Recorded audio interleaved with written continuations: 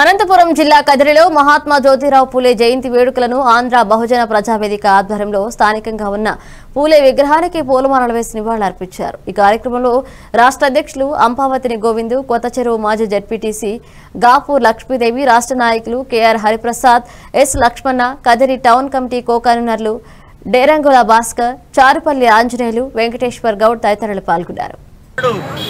బడుగు బలహీన వర్గాలందరికీ కూడా చైతన్యం నింపడానికి కృషి చేసినటువంటి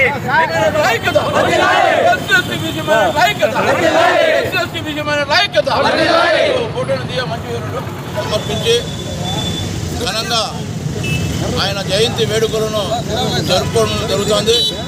ఈ సందర్భంగా మహాత్మా జ్యోతిరావు పూలే గారి జయంతి జన్మదినోత్సవాలను ప్రజలందరికీ శుభాకాంక్షలు తెలియజేస్తున్నాం.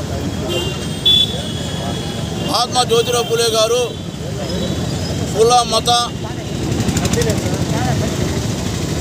లేని మా- అసమానతలు లేని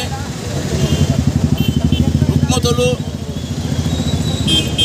మూఢనమ్మకాలు లేని అంటరానితనం లేని సమాజం కోసం విద్య చాలా ముఖ్యమైనదని భావించి మరి ఆ రోజుల్లో విద్య చెప్పడానికి అన్ని వర్గాల ప్రజలు విద్యకు దూరం నెట్టవేయబడినటువంటి సందర్భం.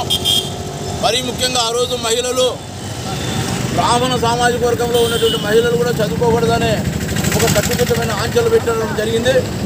మరి అటువంటి సందర్భంలో విద్య అనేది చాలా ముఖ్యమైనది ఈ సమాజం ముందుకు పోవాలంటే అని ఆ రోజుల్లో మహాత్మా జ్యోతిరావు పూలే గారు పద్దెనిమిది వందల నలభై ఎనిమిదిలోనే పద్దెనిమిది పాఠశాలలు ఏర్పాటు చేసి ఈ దేశంలో మహాత్మా జ్యోతిరావు పూలే గారు సత్యమైనటువంటి సావిత్రిబాయి పూలే గారిని మొదటి ఉపాధ్యాయులుగా చేయడం అనేది జరిగింది ఈ దేశంలోనే.